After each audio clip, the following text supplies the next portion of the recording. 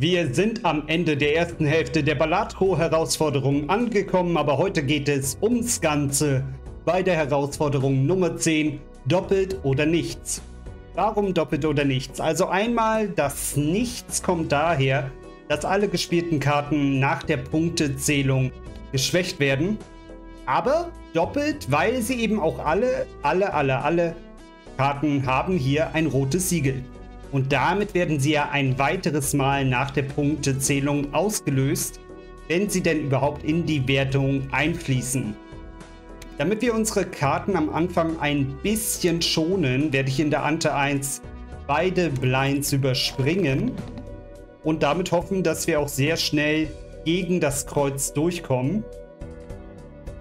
Ich sehe hier auch schon einen Straight, ich weiß aber nicht, ob der schon ausreichen würde. Ich gehe daher mal auf die höheren Zahlen hin.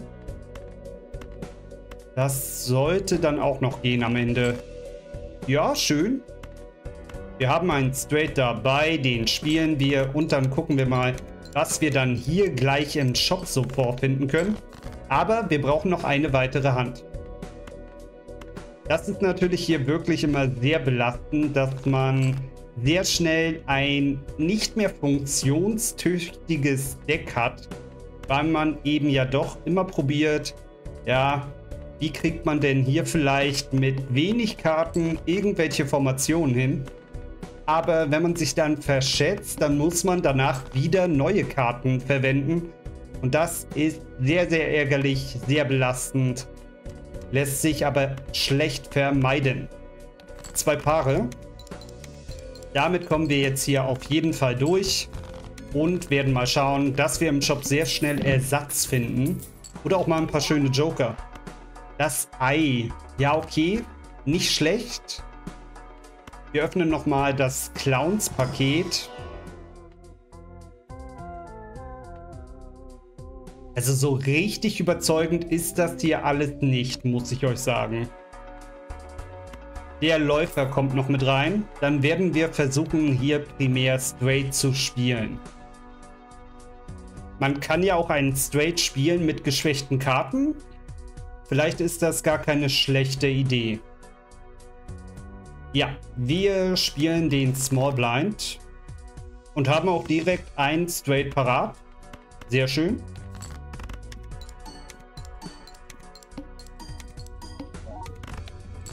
Ja, gerade läuft es natürlich noch ganz gut, aber das ändert sich dann sehr schnell, sobald man nicht mehr viele Karten irgendwie hat. Der grüne Joker kommt rein, wir gehen in die nächste Runde und überspringen aber den Big Blind für ein Mega Arcana Paket.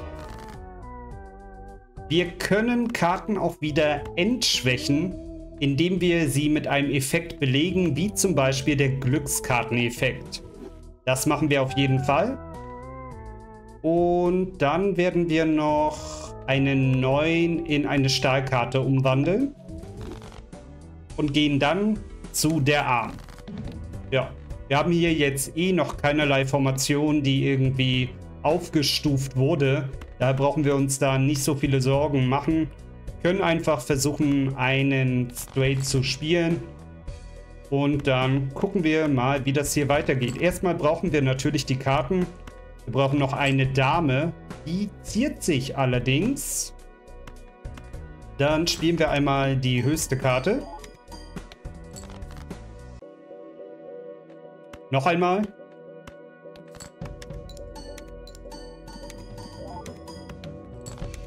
Und wir sind auch schon durch. Immerhin.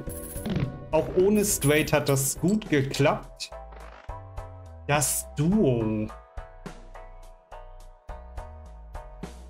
Passt nicht mit unserer Straight-Strategie, aber die ist ja noch nicht in Stein gegossen. Wir holen das mal mit rein und gehen in die nächste Runde. Wir überspringen den Small Blind für ein mega Standardpaket, damit wir mal wieder ein paar Karten uns reinholen können. Wir nehmen diese 10 sowie einen König mit einem goldenen Siegel. Der Big Blind. Hier würde sich schon wieder mehr ein Straight gut machen, weil wir schon so viele Zahlen dabei haben. Aber noch nicht genügend, wie man gerade feststellen durfte. Okay. Jetzt aber. Wir haben auch den Mult-Effekt durch die Glückskarte dabei. Kommen damit also mit einer einzigen Hand durch. Sehr schön.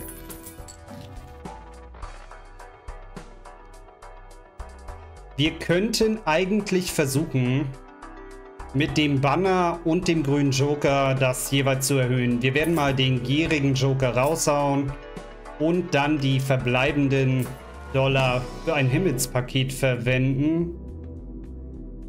Der Drilling, der wird jetzt mal aufgestuft. Ich glaube nämlich nicht, dass wir langfristig straight spielen werden. Okay, wir spielen erst einmal diese verschiedenen geschwächten Karten, damit sich unser grüner Joker aufstufen kann, nicht reduziert wird und damit auch beim Banner durch die verbleibenden Abwürfe die Chipzahl erhöht wird. Wir kommen wieder einem Straight eigentlich sehr nahe, aber wir haben es noch nicht. Dafür aber ein Flush. Dann spielen wir den. Ich hoffe, es reicht. Ja, knapp, aber immerhin. Sehr gut. Wir machen weiter.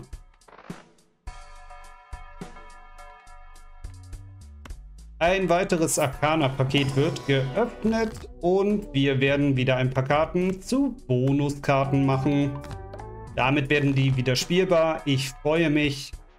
Das Ei, ja, das lassen wir erstmal noch. Wir überspringen den Small Blind, damit wir nachher einen Polychrom-Joker erhalten, gehen aber zu dem Big Blind über. Wir haben direkt einen Straight dabei, den spielen wir.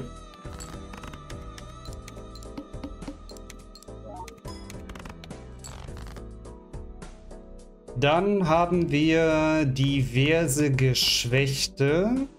Aber wir haben hier einen Drilling. Ich würde gerne noch einen Ticken kurz warten. Und einfach mal ein paar Karten mehr spielen. Eben um den grünen Joker auch ein bisschen hoch zu pushen und so. Das läuft ja gar nicht mal verkehrt. Okay, wir haben den Drilling. Dann spielen wir den jetzt. Und so sieht es eigentlich auch ganz gut aus. Das könnte jetzt eine Strategie werden, mit der wir hier arbeiten können. Und erhobene Faust als Polychrom-Joker ist auch sehr, sehr gut. Dann nehmen wir den Läufer raus. Der bringt uns nicht so viel. Die erhobene Faust kommt mit rein. Und wir öffnen die beiden Booster-Pakete. Ja, wir pushen mal Flush. Anschließend Arcana-Paket ansehen und mal wieder ein paar zufällige Tarotkarten.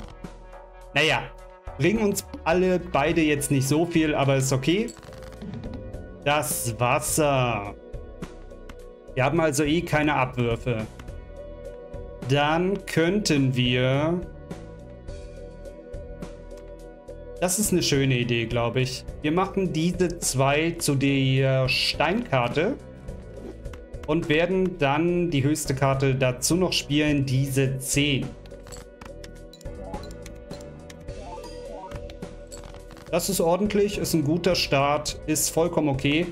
Wir haben einen Straight dabei. Spielen wir ebenso. Schade, schade. Leider auch bei der Glückskarte nicht viel Geld gemacht, aber hätte ja klappen können. Hätte ja eben gerade deswegen sein können, weil wir da ja so einen schönen, so ein schönes rotes Siegel drauf hatten. Was ist jetzt der Plan?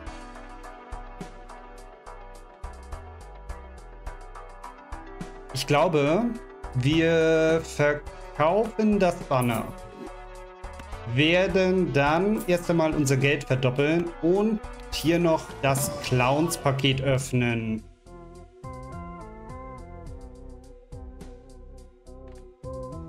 Der Vampir lacht mich so ein bisschen an, weil wir damit immer wieder einen Bonuseffekt oder sowas einfach abnehmen könnten, bevor die Karte geschwächt wird und damit den eben verbessern.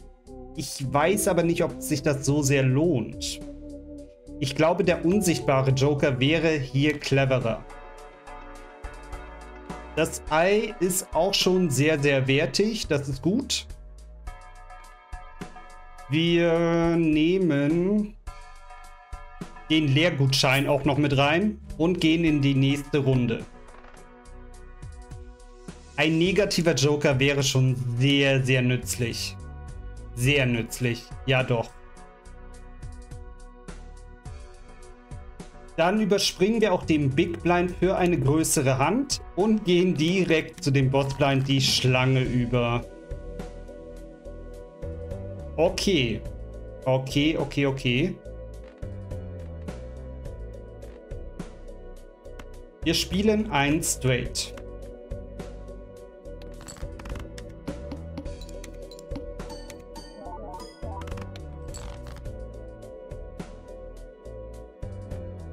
Wir spielen einen Drilling. Nee. Wir spielen ein Paar. Das Problem ist jetzt gerade, dass wir hier eh geschwächte Karten überall haben. Wir spielen daher einen Drilling, lassen aber die 6 drin.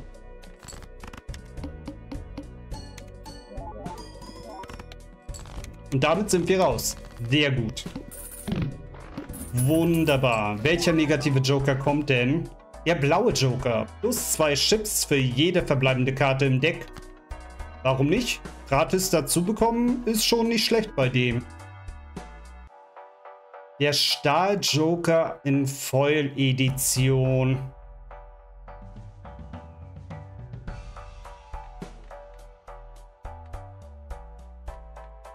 Wir verkaufen das Ei und holen den mit rein. Jetzt haben wir auch sehr, sehr viel Geld können den Tarothändler auch mal einlösen. Und ich werde, ich werde, ich werde das riesige Himmelspaket öffnen. Und noch einmal...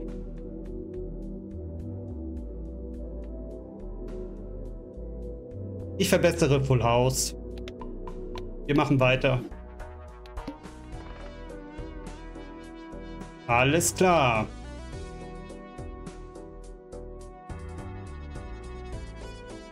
Ich bin mir so unsicher gerade, was die beste Variante ist. Ob wir vielleicht sogar wieder beides hier überspringen sollten.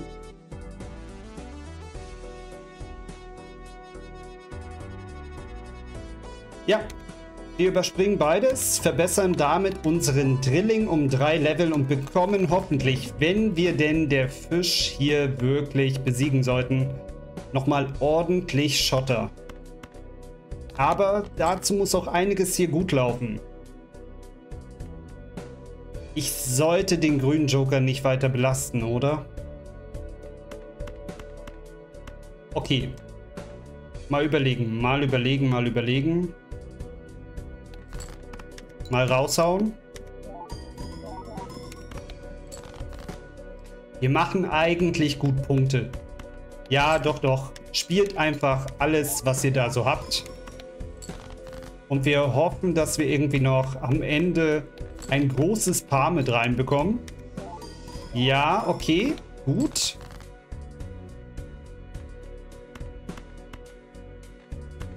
Ich hoffe, es reicht. Wir brauchen noch 12.000 Punkte jetzt. Wir haben einen Drilling, aber nur geschwächte Karten. Aber da hat es sich gelohnt, den Orbital-Tag zu nutzen, weil eben der Drilling damit das schon alleine rausgerissen hat. Trotzdem mal wieder viel mit Glück zu tun gehabt, das Ganze.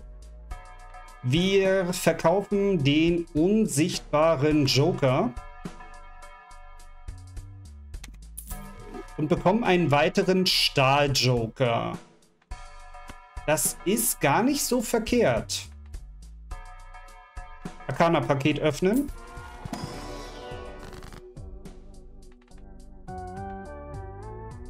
Und wir holen uns eine weitere Stahlkarte, nämlich diese 9. Damit werden unsere beiden Stahljoker verbessert und wir haben mal wieder eine prinzipiell spielbare Karte dabei. Wir öffnen das Himmelspaket und können Full House verbessern. Okay, sehr schön. Neu ziehen. Erosion, ja, ich werde aber keine Karten mehr weghauen. Director's Cut wird eingelöst und wir gehen weiter. Der Opze macht mir nicht so viel Probleme. Das ist mir egal, ob das Geld am Ende weg ist. Die Sache ist nur eher, ob wir den überhaupt besiegen können. Wir überspringen den Small Blind, wir überspringen den Big Blind.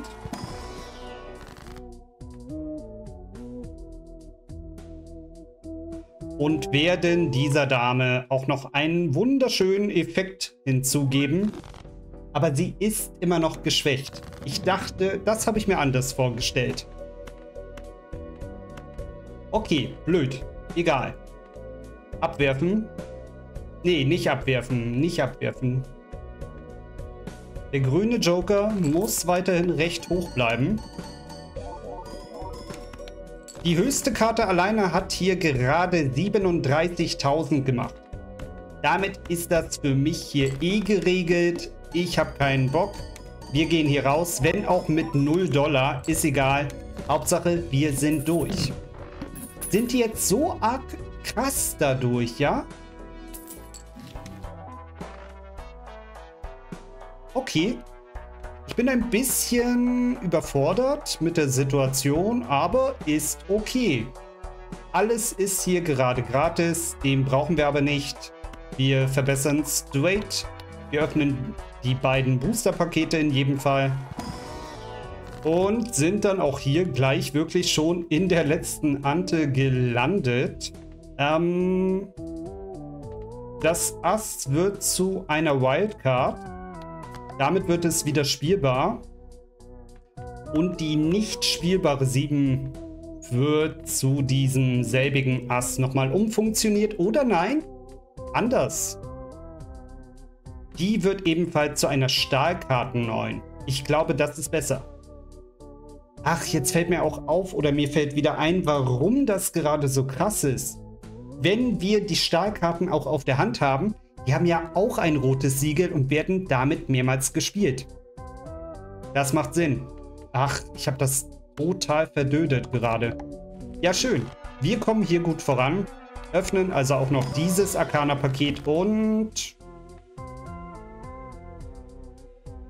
Ich glaube... Wir holen uns die Todeskarte nochmal rein, um dann später gegebenenfalls noch einmal eine Karte in eine Stahlkarte zu verwandeln. Wir überspringen beide Blinds und gehen direkt zu der himmelblauen Glocke, damit wir hier auch einfach anfangen können. Einmal ein Full House. Ich brauche hier unbedingt ganz, ganz schnell irgendwelche Stahlkarten auf der Hand. Oder auch nicht. Es läuft auch so ganz gut.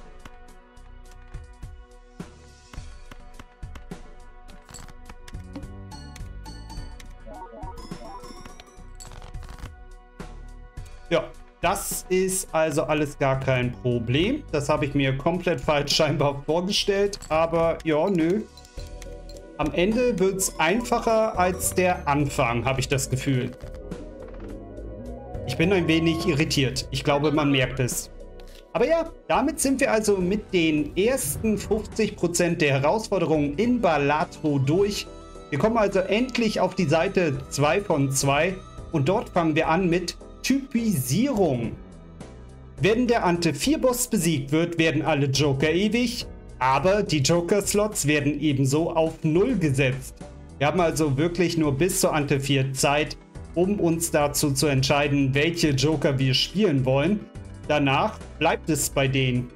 Okay, bis zum nächsten Mal. Bye, bye.